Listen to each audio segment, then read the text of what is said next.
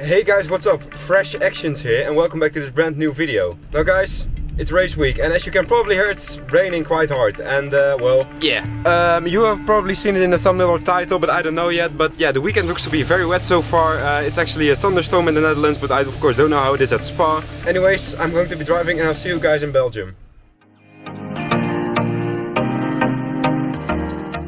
Alright people, the footage on your screen right now is from my way to Spa.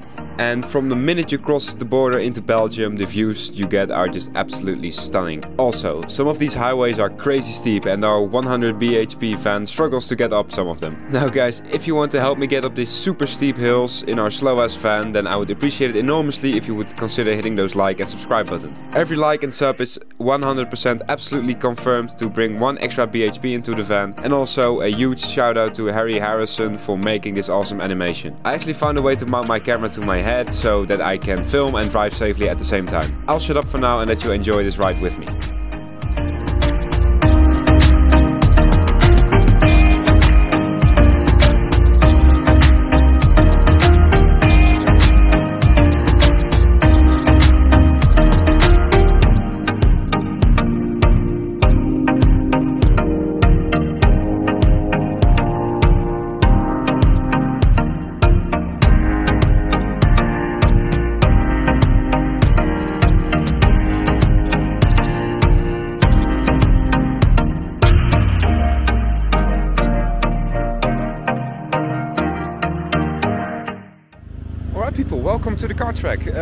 I said I was going to the uh, to uh, our little house first, but I went to the car track first.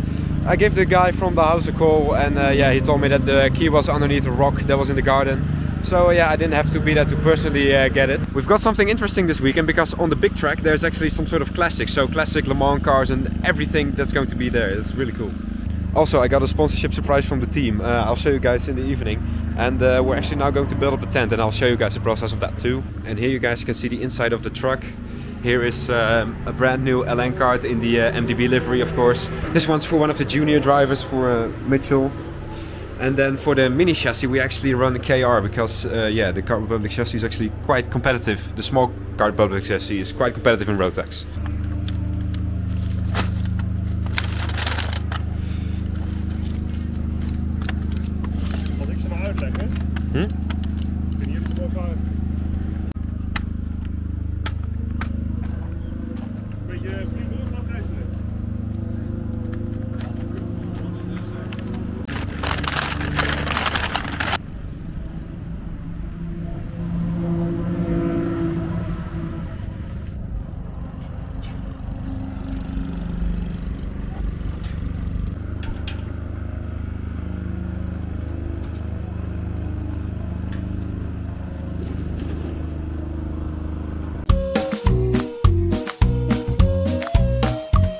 Alright guys, so the tent is completely built up. I am now at our little uh, holiday home and we are really in the middle of the Ardennes and in a small Belgian village. Take a look at this.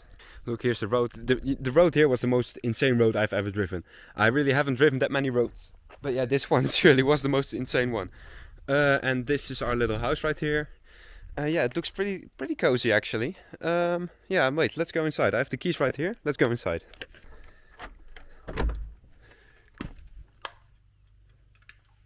Oh my god, guys, look at this.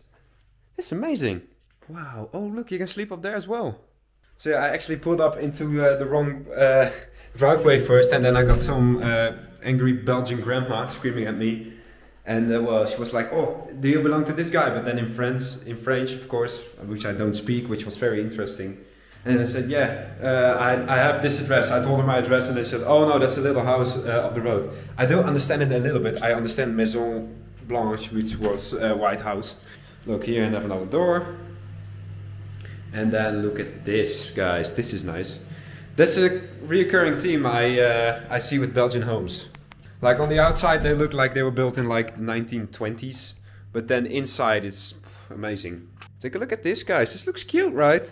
This is amazing. So let's get some of the things unpacked and I'll catch up with you guys later. Alright, so I was unpacking my stuff and I saw my dad flew by here. He went to the wrong address at first, so now I sent him my location and I think there, he, there he's coming. There he is. Master Chef, boys. I'm absolutely starving, so I'm, I'm going to enjoy this. Alright guys, remember that surprise that I uh, talked to you guys about? Brand new MDB custom suit. Look at that.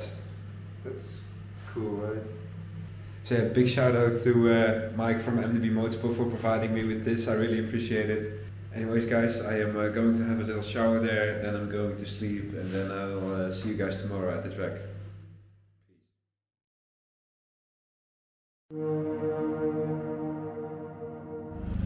Alright, glorious people of the interwebs, good morning. Uh, we've just arrived, uh, now building in this new uh, T11 uh, VTI seat. I think that's going to be a big improvement over what we used to run. Anyways, I'm going to get my track ticket now and I'll show you the card in a few minutes. Yeah.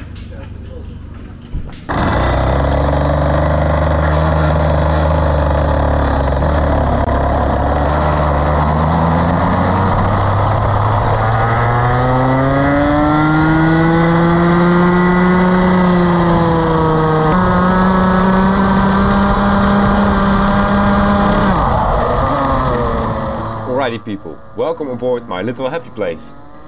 As you've seen we actually already went testing on Friday and that was very necessary. If you remember the last time we went out here testing, then you'll know that I actually had a lot of handling problems and that we couldn't find the cause of that. Usually that means that the chassis or something might be broken or that there's a small crack in the chassis or that it has just lost its rigidity. And throughout this day we really couldn't find the issue. One positive thing however was the fact that the Tillett T11 VTI seat was a huge step in the right direction. The kart had a lot more front end bite without actually losing stability. In the background you can see footage of the first session. I was struggling to keep up with basically everyone out on the track. Last time I had troubles everywhere on the circuit, but now our data guy was actually able to make me improve on most parts of the track. Now the corners I struggled with were the hairpin, the corner after that and the one after that. This sequence of corners actually was my Achilles heel for the entire weekend and you can see on the footage here that the other driver pulls away by a considerable margin after these corners. Now skipping ahead to a little bit later point of the day, on the last session that I took part in, you can really tell that I was struggling. Normally my onboards look kind of smooth, but this just looks absolutely horrible. Missing apexes, bouncing, bogging, really just a lot of unnatural things that I usually don't have.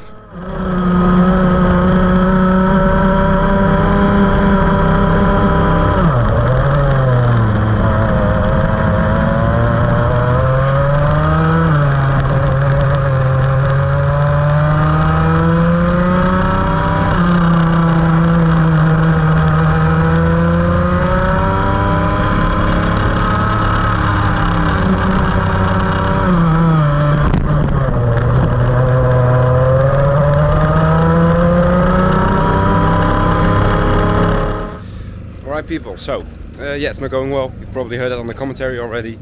But uh, yeah, we're off the pace quite a bit. Um, I don't know what it is, that's the problem. Usually you can find out what it is. Uh, yeah, we think it's the chassis, not sure yet.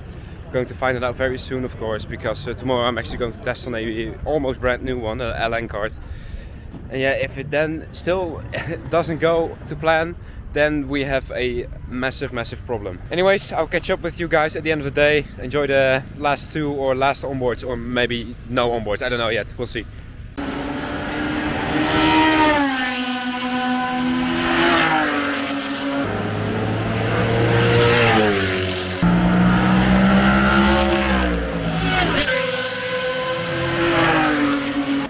My freaking ears. I don't know if you guys have ever heard modern F1 cars, the V6 ones, but these things are a heck of a lot louder than the modern F1 cars, I can tell you that. Alright people, so uh, yeah, it's the end of the day. Uh, unfortunately couldn't do the last session because of this. Yeah, it's raining very, very hard. So uh, yeah, we decided to skip the last one.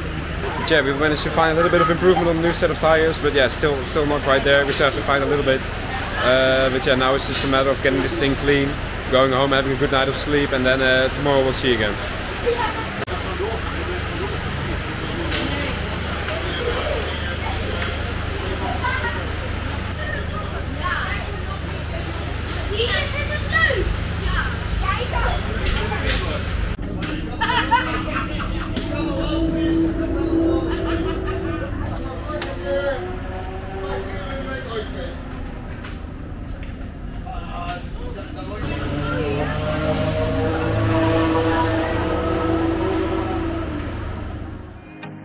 So right now we are on our way back from the circuit to our little holiday home.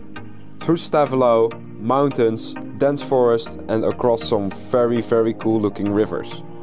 The roads here are just absolutely awesome and I hope this footage can do it just a little bit of justice. By the way guys, do you like winning free karting stuff? Or maybe some big discounts on karting products? If so, listen in. To my sponsor K-Racing I am allowed to give you guys some awesome awesome discounts. Every few weeks we do a different category of product and this week it's time for the OTK wheel hubs and rims. All products on this page are brand new and 100% original and they now all have a 15% discount. I promise you, you won't find these products anywhere else for cheaper. With our global shortages of basically any raw materials and the huge amount of inflation, new parts are sometimes hard to get and very expensive. So this is the perfect time to save some money on all of these parts. And like I said, I guarantee you that you won't find these products anywhere cheaper, anywhere, I promise. So head over to the hubs and wheels section, fill up your basket and then use the code HUB15 on checkout.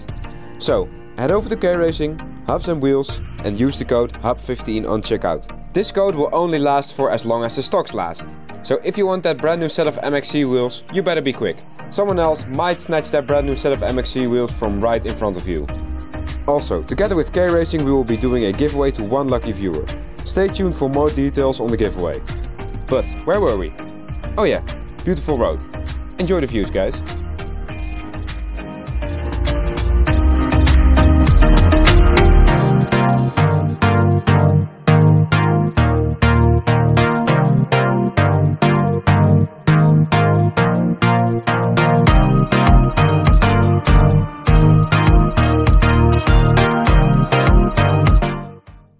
People, so now we're back at our little house. Um, yeah, the day of driving, it was interesting to say the least. Uh, yeah, there were quite a bit of troubles in the first two sessions again, like the ones we had last week. But then in the last one it actually went a little bit better, so that's good. Yeah, we went on new tires and uh, I think we were, uh, yeah, a little bit closer on pace again. Still missing quite a lot, but uh, yeah, definitely a step in the right direction. But yeah, let's just see how tomorrow goes, what the weather will bring, and then uh, yeah, we have like five, four or five practice sessions, I don't really know. Anyways guys, I'm going to go to bed in not that long from now and then I'll see you guys tomorrow. Peace. Alright people, good morning. Uh, I've had a wonderful night of sleep and now it's time for uh, the official Saturday practice uh, which of course concludes all of the uh, last practice sessions, the uh, what's it called, the scrutineering and also the registration. I feel actually a lot more active than yesterday so that's good. Uh, I think we can get a, a bit more of a better day today. At least I hope so. And also today of course we're going to test with the uh, brand new engine and maybe also a newer chassis because we still have a suspicion that the chassis is not quite right. But uh, yeah, I guess we'll find that out. Anyways, I have to get back to the tent because I actually have to drive in a couple of minutes. So uh, I'll see you guys on the GoPro footage.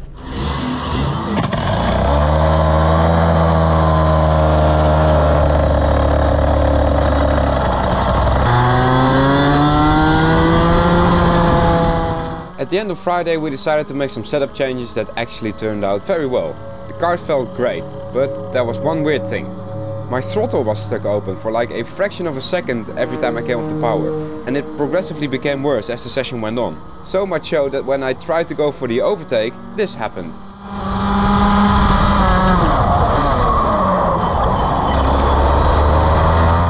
Yeah, kind of embarrassing. I came back to the pits, but there the throttle was fine for some weird reason, so my mechanic sent me back out there.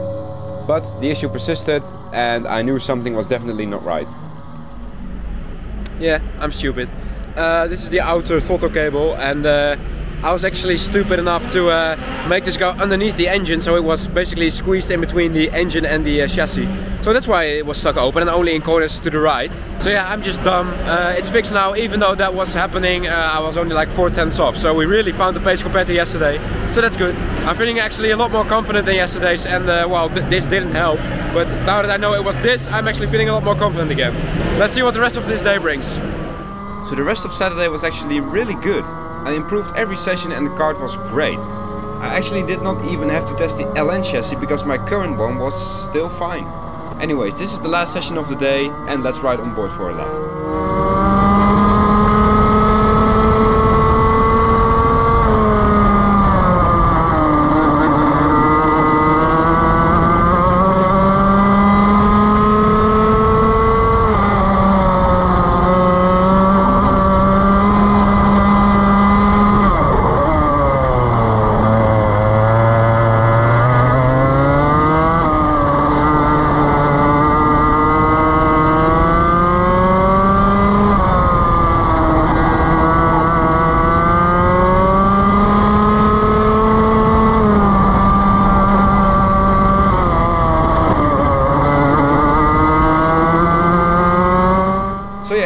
like we turned things around, finally. The pace was good, I was feeling confident and the car was on rails.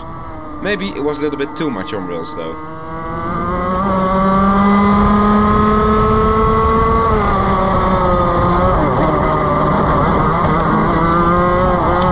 Yep, we went up on two wheels again. The car was actually so grippy that the cornering forces became too much for the center of gravity and I went off track by a little bit. Really strange, I was pretty much the only one who had this issue and it's a really weird corner to have this. Usually you would have this in like hairpins or medium speed corners, but this is a high speed corner. And also I didn't really make a mistake or something, it just happened by itself. Really weird and not really a good way to end the day. Alright people, so uh, yeah, the day's done. Uh, yeah. You know, whenever, uh, you know, most of the day was positive, but whenever a uh, final session of the day doesn't really go to plan, then, you know, the whole day kind of gets coded in a negative feeling, you know. And well, that's what that's what's going on with me now as well. I think if you're a karter yourself, you probably know what I'm talking about. But yeah, the, the last session was really weird. I had new tires, but yeah, it just didn't it just didn't work. And it was mostly down to me because I started braking a lot different.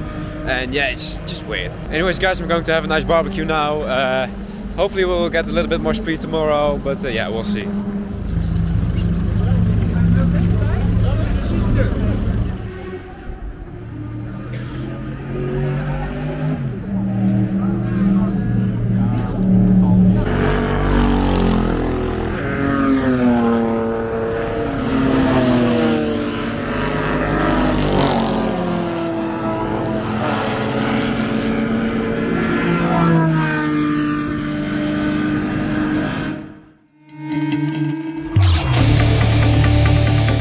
Qualifying time. If you guys remember the last race, then you'll know how important track position is. That is why once again everyone was waiting when the sign went up. When I decided to eventually go out, I followed the number 333 because I knew that he was quite quick over a single lap and that would give me a great tow. So going into lap 3 now, the peak performance of this tire. We get a great great gap of about 8 tenths, which is perfect for slipstream but just far enough away so that you won't be right on his bumper in just a couple of corners. Let's start this quali lap.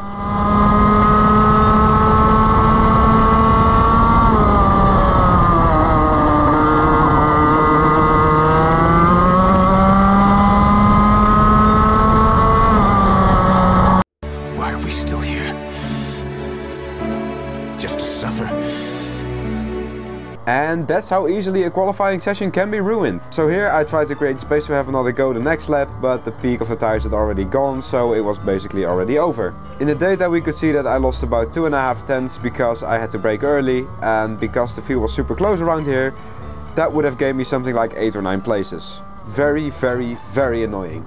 And to be clear, this was nobody's fault. I of course could not have known that he would take another warm-up lap and unlike F1, there are no gentlemen's agreements on track position, so he did nothing wrong either. So that meant P15 for the pre-final.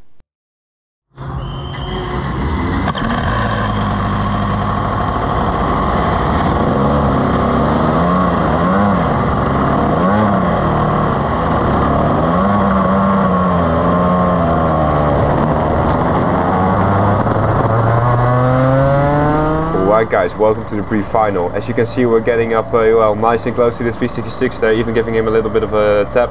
But then uh, everyone gets on the power, but we actually don't get that good of a getaway and we get an absolutely shocking start once again. But luckily the entire left hand side gets an even worse start, so we can actually keep our position.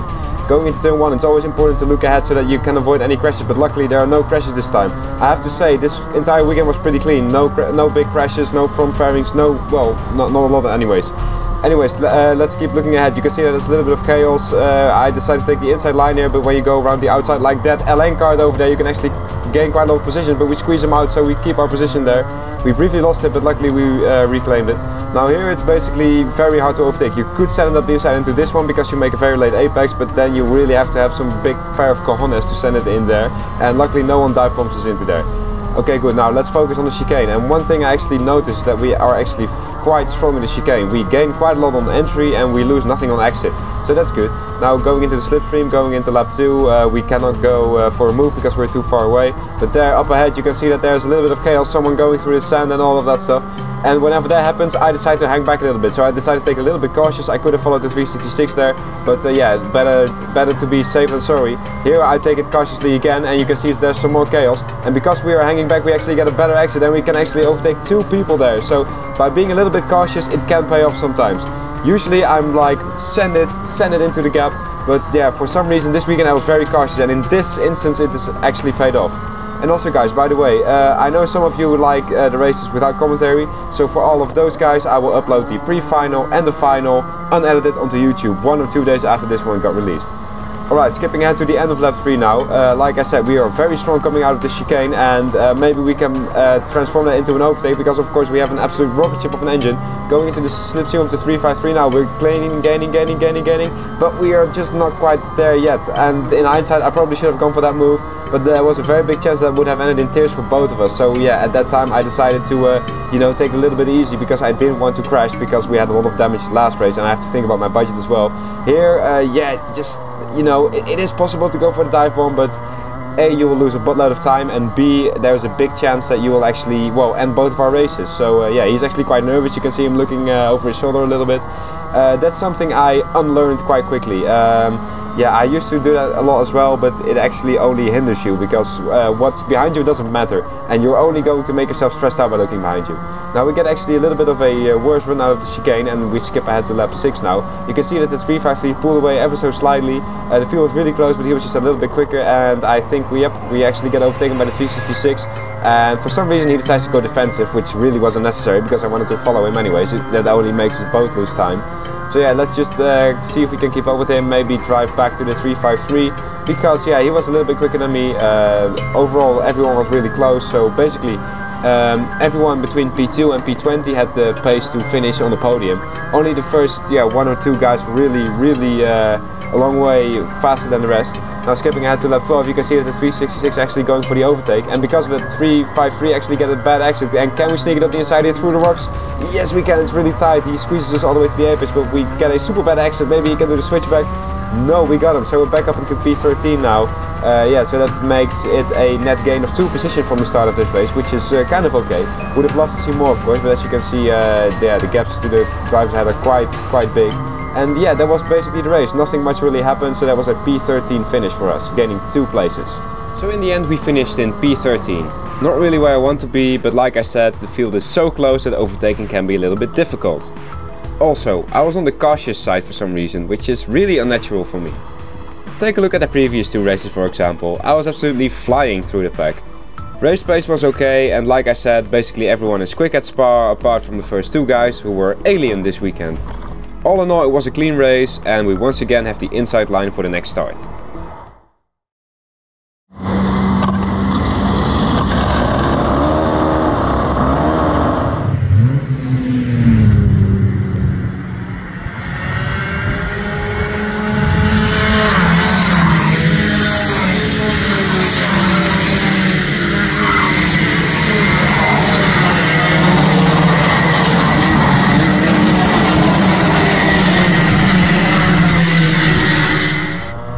Alright guys, welcome to the final. This time I decided to hang back just a little bit so that we can get on the power earlier, but it doesn't seem to be working and again we get an absolute shocker of a start, but luckily the guy starting in P12, so to the left of us also gets an absolute shocker, but he manages to brave around the outside so we lose that place again, so we're uh, back on uh, zero net places gained.